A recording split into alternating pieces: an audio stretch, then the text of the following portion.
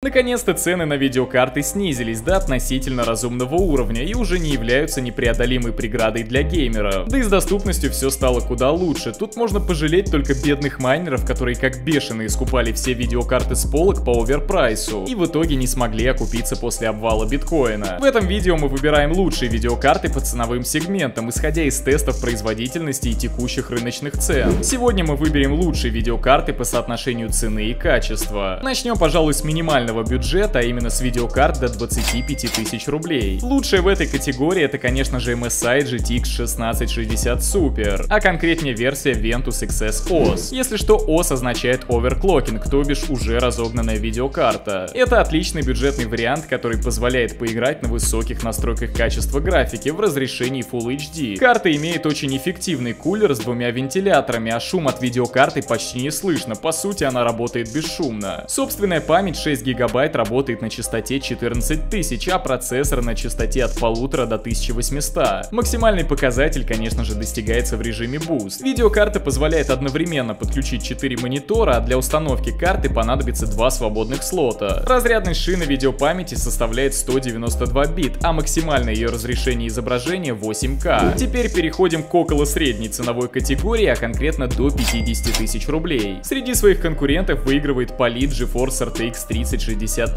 Ti. Без включения RT ускоритель 3060 Ti может обеспечить комфорт в разрешении Quad HD при максимальных настройках графики. В ряде игр можно замахнуться, конечно же, и на 4К, но в некоторых играх наоборот придется снизить качество или включить в игре поддержку DLSS. Объема памяти 8 ГБ должно хватить на длительную перспективу, а что касается трассировки лучей, то разумеется GeForce RTX 3060 Ti реализует в соответствующих играх все преимущества поддержки DLSS. И для того же разработчика разрешения Quad HD производительность при активации DLSS является достаточной. Ко всем достоинствам можно еще добавить относительно компактные размеры карты, позволяющие использовать ее в небольших корпусах. Также температура графического ядра с таким кулером не поднимается выше 70 градусов. Теперь мы дошли до средней ценовой категории, а конкретно видеокарты до 75 тысяч рублей. В этом списке бесспорно выигрывает гигабайт Radeon RX 6800 XT. Если вы предпочитаете игры без трассировки лучей, то Радик легко легко потянет максимальное качество графики в разрешении 4К. Если говорить про игры с трассировкой лучей, то в них Радик выступает в лучшем случае на уровне GeForce RTX 3060 Ti и подходит для игры с максимальным качеством графики лишь в Quad HD. Однако включение технологии FSR, если игра это поддерживает, позволяет поднять производительность уже до уровня GeForce RTX 3070 Ti. У карты Gigabyte превосходная система питания, а ручной разгон дает вполне серьезный результат – до 6-7% 10% прироста производительности. Также система питания гарантирует высокую стабильность работы и в режиме максимальной нагрузки в 3D температура достигала 74 градусов, а шум вырастал до 34. Размеры карты вполне стандартные, и она залезет в любой корпус. Теперь мы приближаемся к почти самым дорогим видеокартам, а конкретнее из категорий до 100 тысяч рублей. Среди своих конкурентов выигрывает, конечно же, GeForce RTX 3080 на 10 гигабайт памяти.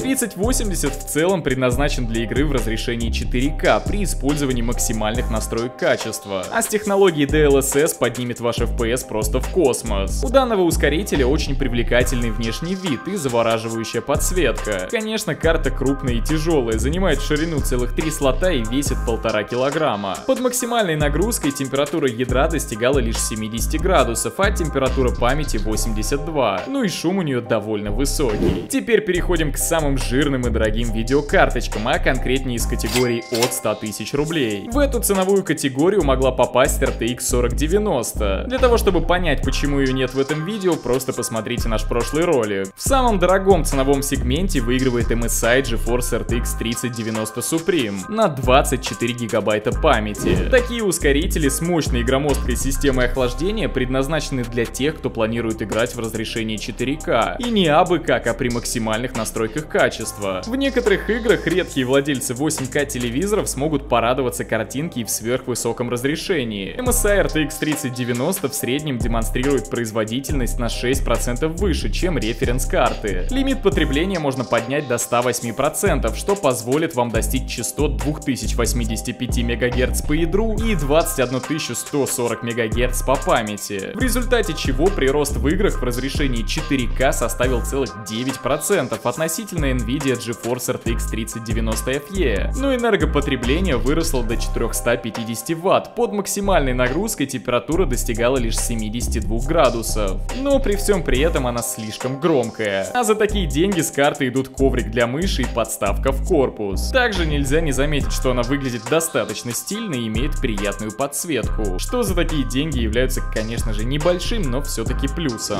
Ну и абсолютный лидер по соотношению цены и качества это, конечно же, Radeon RX 6700X XT на 12 гигабайт памяти. Тесты от других пользователей показали, что Radeoныч относится к числу очень производительных ускорителей, а конкретно на уровне RTX 3070 и 3060 Ti. Повышение частоты карты позволило ей даже обойти GeForce RTX 3070 в играх без трассировки лучей. Это разрешение позволяет комфортно играть в разрешении Quad HD при максимальных настройках графики. Спасибо всем, кто посмотрел это видео. Обязательно пишите свое мнение в комментариях, а также также не забывайте ставить лайк и подписываться на наш канал. А чтобы не заскучать, смотрите другие наши ролики по этой теме. Всем спасибо, всем пока!